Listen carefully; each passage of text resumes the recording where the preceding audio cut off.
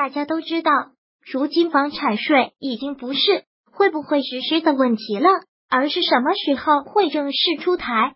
尽管专家一再分析，认为房产税无助于降房价，但有一点可以肯定，即房产税增加了持有成本。原先炒房客可以无成本的囤房，现在可能不行了。需要注意的是，对于持有优质房产之人而言，或许房产税即便增加了成本，但最终可能转嫁给买房人。对于只有一两套房产的普通家庭，估计几乎也没什么影响，但对于持有非优质且多套房产之人而言，却可能损失惨重。因此，房产税一旦实施，有四种人或将损失惨重。或者说，房产税究竟对哪些人有影响？这四种人或将心惊肉跳。接下来就和大家聊聊这一话题，看看有没有你。第一，投资三四线房产的人。三四线楼市至少有两大危机：一是房价收入过高，二是人口持续外流。所以，三四线楼市未来堪忧，转手可能比较难。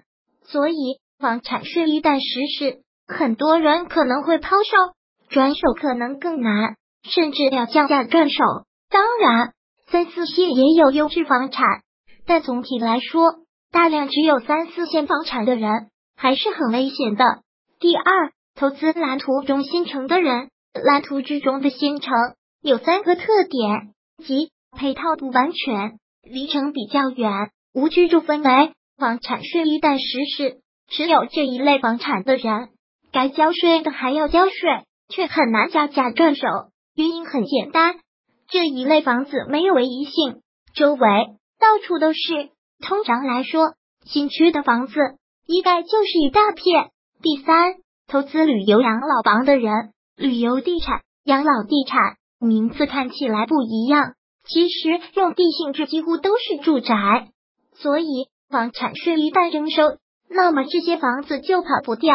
这些房产有二个特性：即一住的时间少，二和季节有关。也就是说，如果投资一套自用，估计还不如住宾馆划算；如果投资多套出租，可能也会遇到旅游季节性的问题等。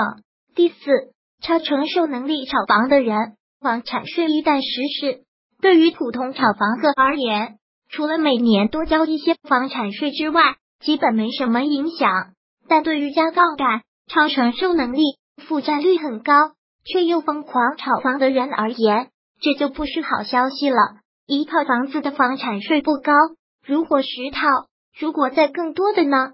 尤其如果投资了不好转手的房产，房产税可能真让一些炒房客损失惨重。and 免责声明：本文来自腾讯新闻客户端自媒体，不代表腾讯网的观点和立场。